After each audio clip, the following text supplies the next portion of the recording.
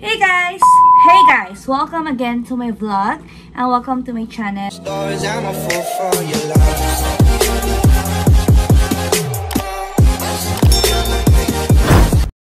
And guys, for today's video, meron na naman tayong isang panibagong vlog. So this one guys, uh, I wanna share to you guys yung mga favorite kong outfits. So, ako mahilig talaga ako sa fashion. Mahilig ako sa damit. So, i-share ko lang sa inyo guys yung mga fashion na nahiligan kong suotin. So, but guys, before anything else, please don't forget to like and subscribe my YouTube channel. So, that's it guys. So guys, just keep on watching.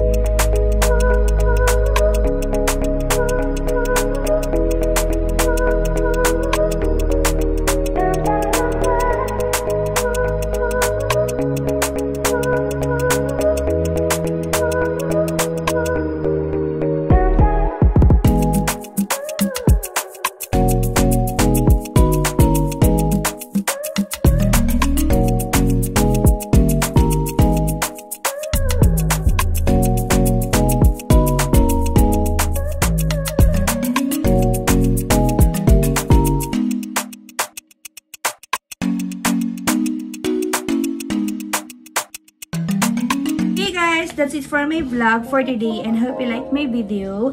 And guys, ayun, mapapayo ko lang sa inyo guys, it's okay kung small, medium, large ka man. Ang importante is, komportable ka sa damit na sinusuot mo. Tsaka guys, hindi naman kay kailangan na sobrang mahal yung damit na isusuot natin. It's basta komportable tayo, tsaka um, kaya natin dalhin, diba? Yung damit na yun. That's it lang. Guys, please follow me in um, my TikTok, Ate Joyce. And thank you so much for watching. And I hope you like my video. And see you next time on my next vlog. Bye!